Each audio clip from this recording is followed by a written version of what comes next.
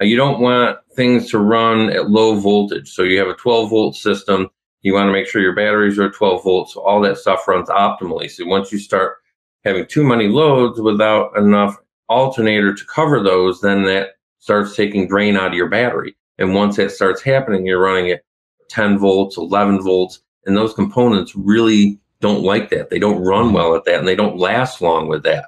You know, even your, your starter, you know, when you start doing low voltage cranks on your starter over and over and over, uh, the life of that starter significantly decreases. Right. And then this is where total cost of operation becomes a, a real factor because if we start to run uh, in an, let's just say, not an optimal way, we start to have failures. Now we're driving up our costs. And, you know, it all started just with the extra load on the electrical system.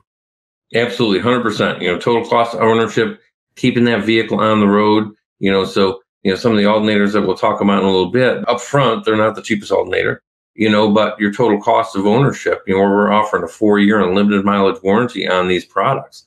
You know, that's designed to keep you on the road trouble free for four years. So you're not worrying about that, you know. So if you have a, a lesser alternator or one that doesn't, you know, perform as well, you know, you start changing out starters, you know, a starter change out, you know, that's an hour of labor. How much is an hour of labor nowadays? $100 an hour, $150 an hour? You know, you have three alternators put on over the four year period that uh, this one would have lasted you. You know, again, there's there's five hundred dollars in labor just on changing out alternators. So really, really, you know, those those things significantly increase over time. Where you know you spend the money up front, you get the value out of it on the other side.